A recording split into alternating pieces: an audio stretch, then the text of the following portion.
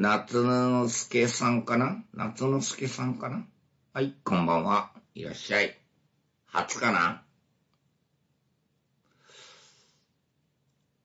ありがとう。まあ、いろいろあんだろう。まあ、俺の放送は、ちょっと特殊だから、こういう枠はね。うーん。リスナーのみんなが見ても特殊だと思うよ。うん。他には多分ない。だから人が、他ではやってないことをやりたいから俺はこうやってやってんだけど、ただあの雑談だからな。あくまでも。うーん。長年見てるから違和感がね。違和感、まあ違和感はあってもなくてもどっちでもいいんだけどさ。フレンチブルドッグは飼いたいなと思って大変だぜ、ネイマール。フレブルは。うん。まあ俺はもう犬を飼うことはないと思う。部長さんで最後だから。うん。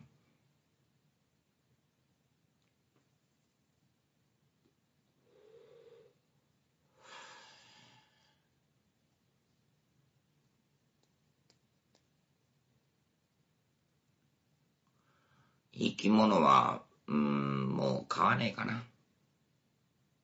うん。ちょっとね、自分の中ではね。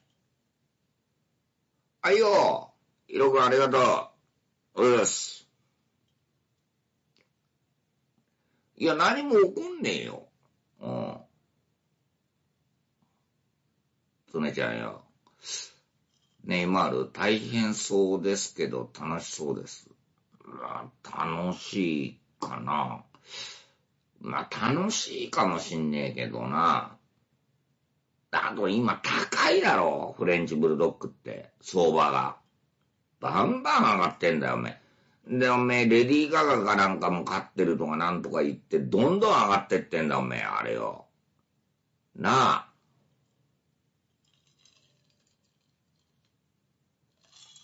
めっちゃ人気あんだよ、おめえ。うん。だって犬、犬さらいがいるんだから人さらいじゃねえんだぜ。だって考えてみろ、お前は。普通に考えて、犬をパクるんだからな。なあ。フレンチブルドッグをかっぱらうんだからな。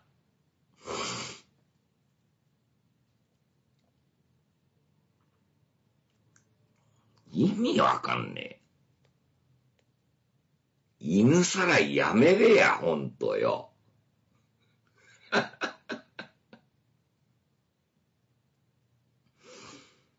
なあ。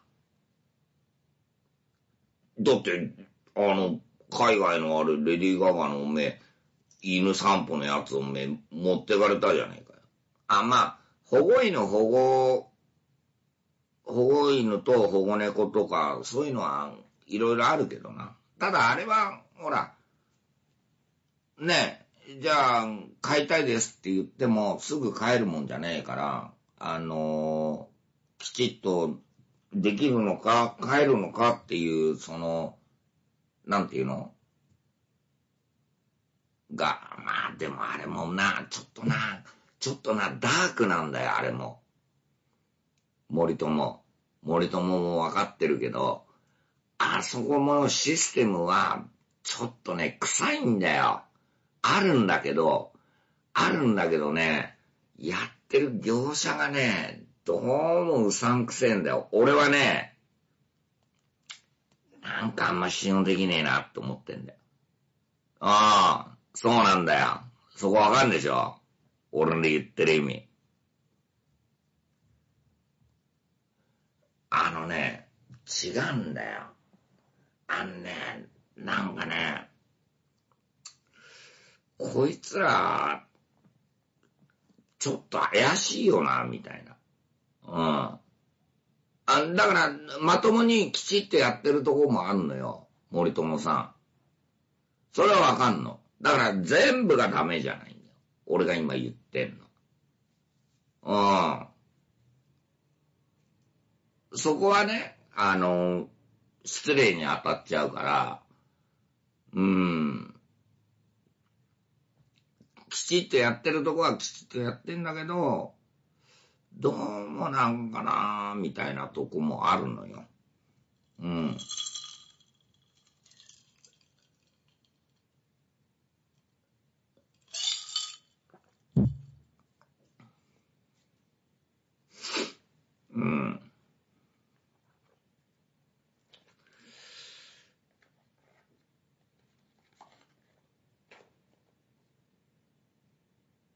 うん、まあだからね、生き物で、なんだろうな。なんでそういうことやってんのかな、みたいな思うけどね。うん。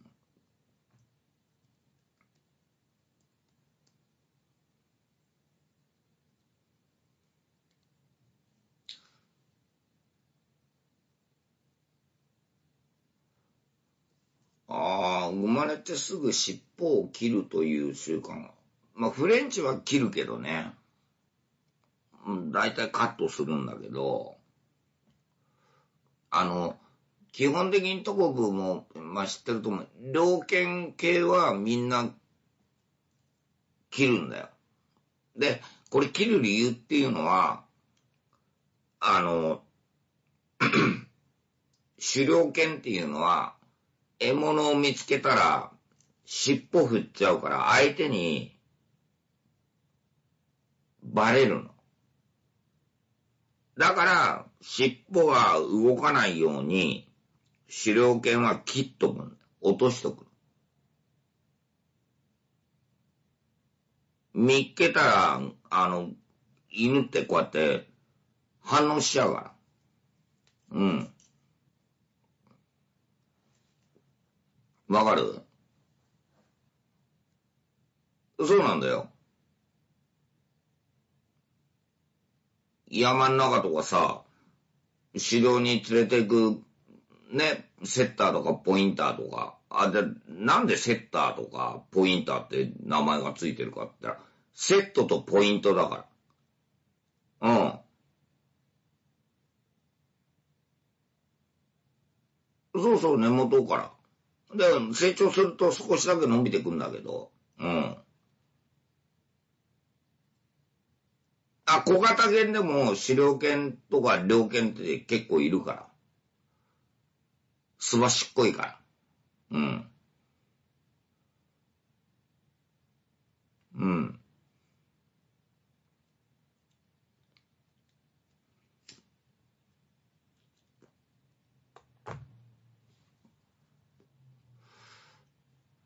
ポインターもうちで買い、でかいから、ポインター、みぶちゃんや。ああ。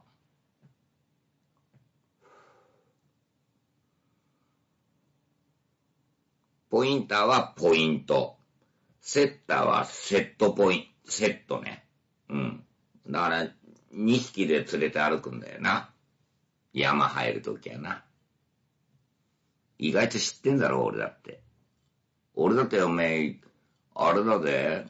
検査が思ってんだからな。うなちゃんマン JP っていう JKC の。ジャパンケンネルクラブの。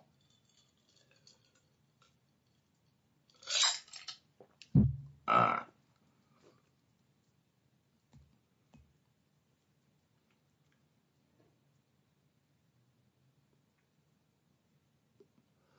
尻尾って骨あるよね。だから、生まれてすぐにカットすんだよ。うん。何気に知っとる説。だ、だから、佐野は意外と広いの知ってることは。浅いかもしれない。だから面白いんじゃないだから雑談ってそういうことなんだよ。引き出し引き出しよ、お前。何でも乗るぜ、俺よ。大概のことには。うん。任してくださいよ。うん。ケンネルって聞くと、ああ、あれだろ？犬飼っててな。ああいうのもかわいそうだよな。うん。シロさん、あいよ。また顔出して。うん。なんで白学なんですか？あ、もちろんもちろん、好奇心だよ。すべては。うん。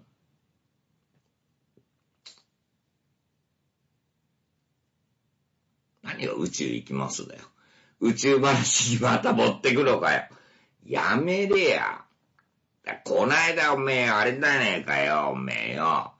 水があったらねえだったには話やってんじゃねえかよ。隕石おめえ落っこってきたのよ、やっとよ、おめえ解析してよ。なあ。あ？あ、どうだっけ？アメリカのどっかに落っこった隕石に、あの、水があったからってって、どうのこうのなんつって。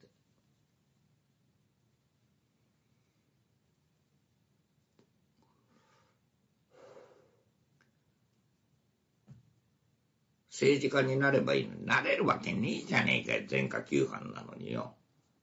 ダメなんだよ。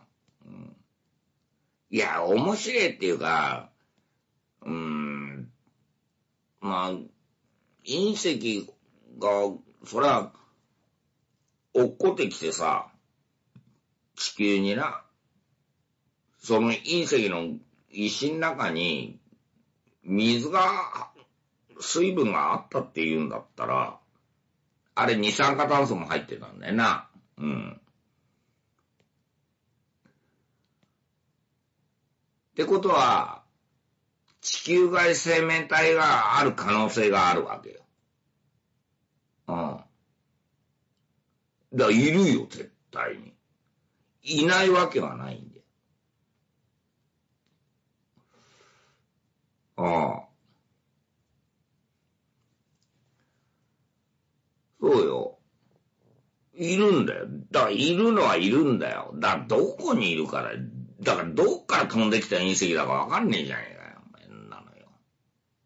ただ、解析はするだろうな。うん。何光年前から飛んできた石かどうなのかって。いや、都市伝説止まりにはならないよ。だって解析すればそれ分析できんだから。うん。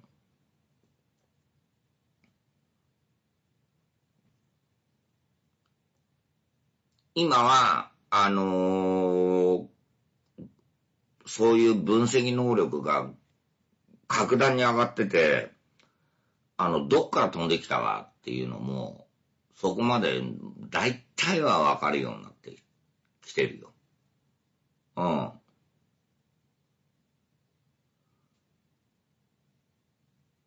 ん。だから、そのうち、だからまだ分析してんじゃねえの？うん。ちょっとおかわってくるわ。面白いっちゃ面白いよな、宇宙の話やな。でもよ、俺ら宇宙に行けるわけじゃねえからさ。だってしゃあねえべや。